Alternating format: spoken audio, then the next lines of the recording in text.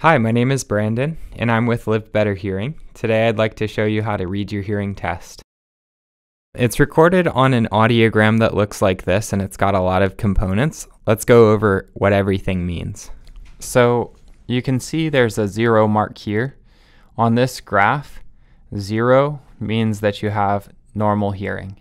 And so you can see there's a line spanning all the way across.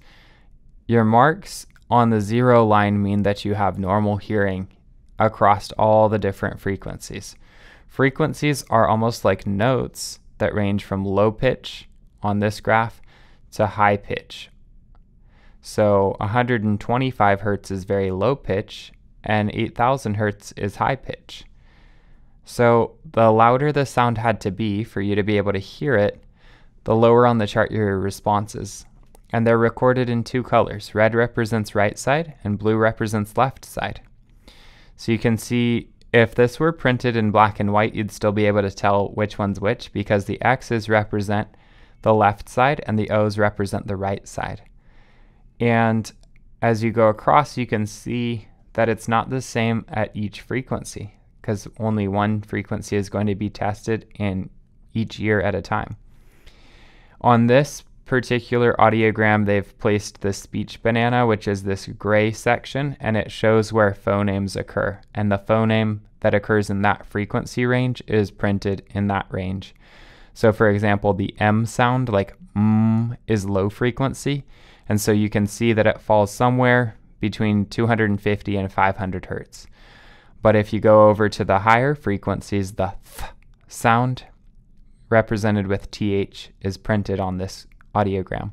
So it can just show you where the phonemes occur, and phonemes are the smallest snippets of sound that combine to form words. So this graph is your audiogram, and the same thing is represented down here, just the numerical values. So if you see this is the left side, and then over here this is the right side, and there's AC. So AC is air conduction, and that's how we're hearing normally without anything on our ears. Air waves are passing through the air, it's displacing the air, and then it's hitting our eardrum. It's going to our middle ear, it's going to our inner ear. But bone conduction is where we have a headband that vibrates our um, skull, our head, and it's vibrating our bone, our inner ear only. So these are the two different tests. One is done with an insert headphone, air conduction, and the other is done with um, a bone oscillator, a headband. And you don't really feel it too much unless you go to a very low frequency, but you hear it directly to your inner ear, even if nothing were in your ear.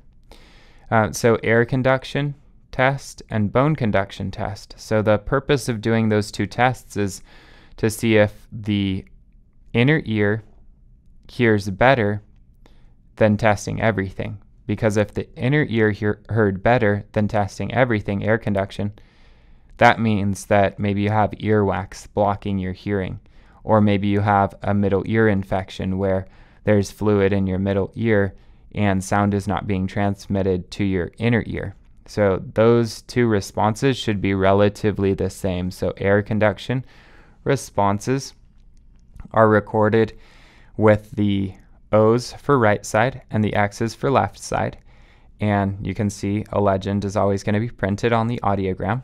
And then it's represented with these little bracket marks if it's bone conduction. And those should line up to about the same as each other. So they should be either on top of each other or within 10 decibels. So each one of these you can see 10 decibels, 0 to 10, 10 to 20. These are the increments. So the air conduction responses, testing everything, and bone conduction responses should be about the same. If they're not, then there might be cause for a medical referral. So you can see air conduction responses is how we tested speech reception threshold, SRT. So in the left ear and the right ear. And the purpose of this test is to see what's the softest volume you can uh, have played to you in order to make out a word about 50% of the time. And for these tests, there are specific word lists that we use. So, your speech reception threshold, your ability to make out words, should be about the same as the volume it takes to stimulate these low frequencies 250, 500, and 1000. So, the average of those frequencies should be about what it takes for you to make out a word. But if we increase the volume, and now we're no longer testing for your hearing sensitivity, but we're testing for your word comprehension, we want to see what is in an ideal circumstance with no noise and the volume loud, how well can you comprehend what you hear? So WR stands for word recognition. And so someone with the same hearing sensitivity could have a different word recognition just based on how they lost their hearing or based on how long it's been since they've actually heard and uh, not worn hearing aids. So your hearing sensitivity is uh, not part of this test. We increase the volume to rule that part out, out, and we're only testing for your comprehension of the words. Then we test this thing quick speech in noise test. So we test to see how well you can hear in the presence of noise. And so it's a list of um, phrases that you repeat. And as we go, there's more and more noise. And the signal to noise ratio is recorded in the end. And that tells us how much louder the signal had to be above the noise for you to make out the signal.